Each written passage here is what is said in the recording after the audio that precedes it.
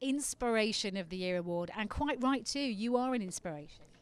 Well, we, we tried to inspire the nation. We tried to get the gold medal, and obviously that didn't work out. So the next best thing to inspire the nation, and I think we did a good job of that. To be fair. Yeah, it was um, it was a fantastic adventure, I suppose, in France, and we were gutted not to make that final. But I think now we've got an Olympics to look forward to and a home Euros. So yeah, we we think that we did take women's football to the next level, and hopefully we can continue that.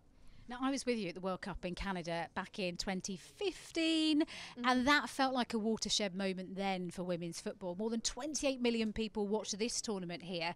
What kind of impact do you think that's had on the women's game? Well, it took us to another level for sure to get the recognition that we have at such an iconic award as the GQ it's been amazing. So um, for that alone, we you know we must have done something right. But like Jill said, we've got well not me now, but the team have got you know a home Euros and, and Olympic Games to even more propel the game, which is what we need. And I think this country needs a gold medal, and I, I believe in the team. And I'm their biggest number one fan now, so um, I think they can do it. Um, any standout moments for you, apart from, of course, becoming the most capped World Cup player of either gender during the tournament?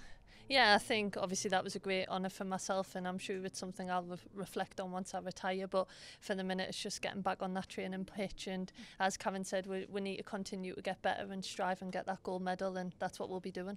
I remember the last time round at the last tournament, you said all you were looking forward to doing when you got back was watching Coronation Street and having a cuppa. Did you do that?